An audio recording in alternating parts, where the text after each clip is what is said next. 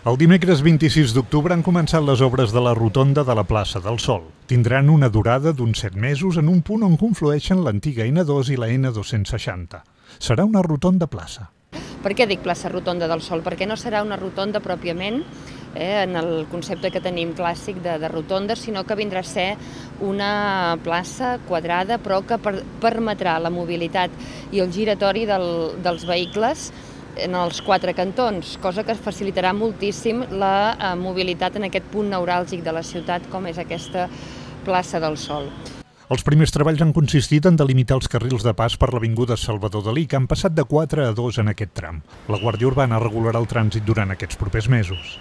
Esperem que siguin 7 mesos, que és el que preveu el projecte, i en els quals doncs, realment serà complicada la, la situació del, del trànsit, ja que ens afecta un punt molt neuràlgic i que se suma també a les obres de la rotonda de, de Vilafant. Som molt conscients que durant els mesos que duri l'obra això comportarà en renou, comportarà problemes, que des de l'àrea de mobilitat, des de la Guàrdia Urbana, des dels serveis propis de l'Ajuntament, hem mirat d'esmorteir el màxim possible.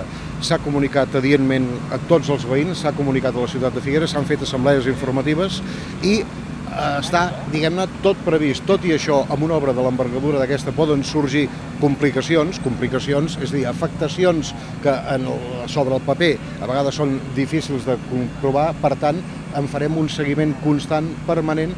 Aquesta setmana també han començat les obres de reforma de les voreres del carrer Montoriol entre el carrer Ample i la plaça de l'Escorxador. Des del dia 2 de novembre, el tram entre la Rambla i el carrer Ample canviarà de sentit.